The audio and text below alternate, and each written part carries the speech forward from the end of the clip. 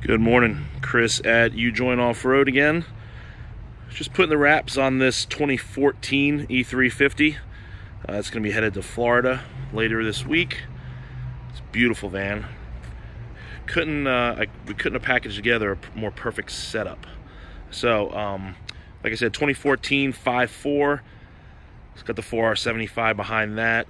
We converted to four-wheel drive, NV271 T-case, six-inch leaf kit on 35 inch Toyo AT2s, stage 2 front axle, progressive leaf springs, 456 gears, RSC upgrade.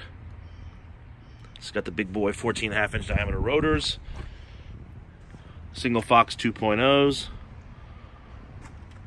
Wheels are from XD. There you can see the Warn hub poking out, 35 spline stub shafts. 1350 CV drive shafts front and rear. It's got some Bushwhacker flares, Rhino line the rockers, Aluminess Nerf bars. It has our FB002 front bumper that we build in-house here in North Carolina. Trio rigid lights, got some amber fogs on the outside, some clear spots and some clear fogs. Warn VRS 12,000 pound winch with a factor 55 thimble. There's an Anderson plug and an OBA port. uh, in the rear, we did a air locker. Front's TrueTrac. I think I already said that. Blacked out the grill, buried some smoked LED amber lights in there. It's got our full-length roof rack. Here's back. Single Fox 2.0s there too.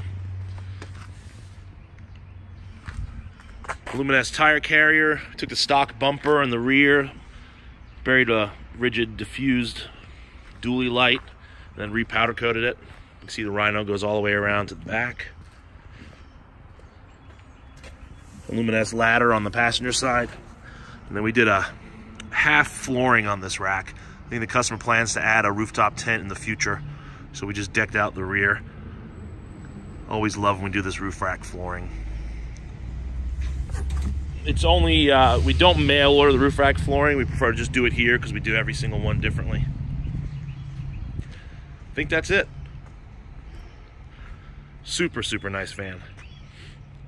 ujointoffroad.com. Email me, Chris at ujointoffroad.com if you got any questions, or you can leave it in the comments. Follow us on Instagram, subscribe, blah, blah, blah, Facebook, yada, yada, yada. So, thanks for watching. Have a great day.